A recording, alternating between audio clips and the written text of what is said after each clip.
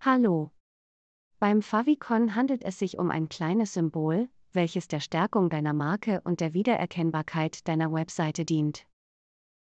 Es wird unter anderem in der Lesezeichen- bzw. Favoritenliste und neben dem Seitentitel im Browser-Tab angezeigt. Beim Favicon handelt es sich meist um eine vereinfachte Form eines Firmenlogos. Es hat zwar keinen direkten Einfluss auf die Suchmaschinenoptimierung, verbessert aber die Benutzerfreundlichkeit.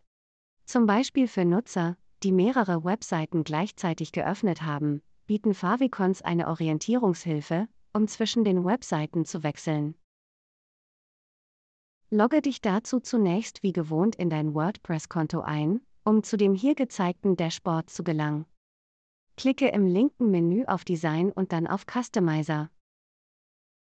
Gehe als nächstes hier im Menü auf Website-Informationen. Über den Button Website-Icon auswählen kannst du nun in deiner Mediathek dein Favicon auswählen oder ein passendes Bild hochladen. Bei Bedarf kannst du dein gewünschtes Bild auch zuschneiden, damit es besser in das verfügbare Format passt. Klicke dann auf Auswählen und abschließend noch auf Veröffentlichen, um die Änderungen zu speichern. Super gemacht! Du kannst nun mit der nächsten Aufgabe weitermachen.